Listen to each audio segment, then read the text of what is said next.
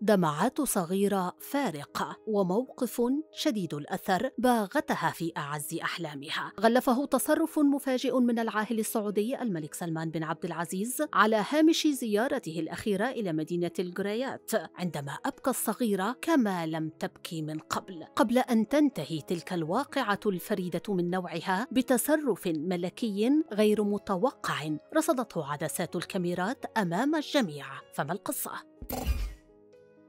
بكت الصغيرة الحالمة كما لم تبكي من قبل، فحلمها الطامع في رؤية العاهل السعودي الملك سلمان بن عبد العزيز سرعان ما تبخر، وزيارته التاريخية إلى الجريات ربما لن تتكرر في القريب العاجل، خاصة وأنه من بعدها لم يحط رحاله من جديد على أرض المدينة التي فتح جميع كبارها وحتى صغارها أذرعهم لاستقبال خادم الحرمين الشريفين. تجهزت ابنة الخمسة أعوام لاستقبال ضيفها الكبير لكن على ما يبدو أن الأمور لم تسر كما كان مخططا لها فأعاقتها الحواجز الأمنية عن تحقيق حلمها وغادر الملك دون أن تلمس يده أو تقف في حضرته فرجعت إلى بيتها خائبة مضطربة بها ما بها من صدام داخلي ربما لم تكن تتوقع أن تعيشه فأراد والدها أن يستفسر عن السبب فجاءه الرد بكلمات صغيرة من بين دمعاتها بها لائقة على عمرها. تستفسر بدهشة لماذا جاء الملك إلى القريات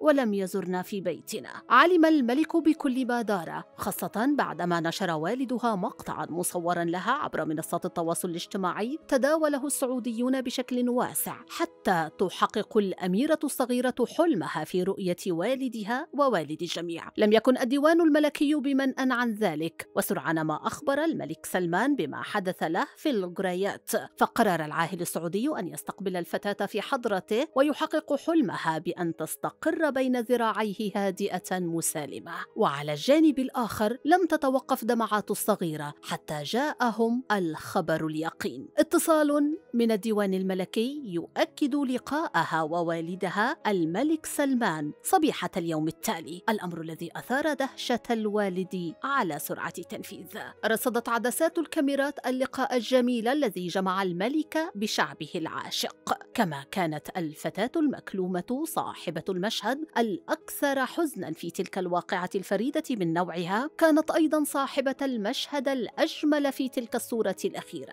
جاءت مهرولة وكأنها عصفور آن الأوان أن يفك أسره ويخرج من بين جنبات قفصه حتى تستقر راحته في عشه هادئا مطمئنا. الأمر الذي أعجب الملك سلمان واحتضنه لها كإحدى حفيداته بابتسامة جميلة تنم عن مدى حبه غير المسبوق لها. وفي نهاية المشهد قرر الملك أن يداعبها بكلمات رقيقة تناسب سنها الصغير فابتسمت له الفتاة فرحة بتحقيق حلمها. وسط جمع فريد من رجالات الدولة السعودية بداية من رأس الدولة وما من ورائها. أخبرونا كيف استقبلتم مشهد استقبال العاهل السعودي الملك سلمان بن عبد العزيز لصغيرة أبكاها في البداية ولم يغادر مدينتها إلا بعدما ارتسمت الابتسامة على محياها.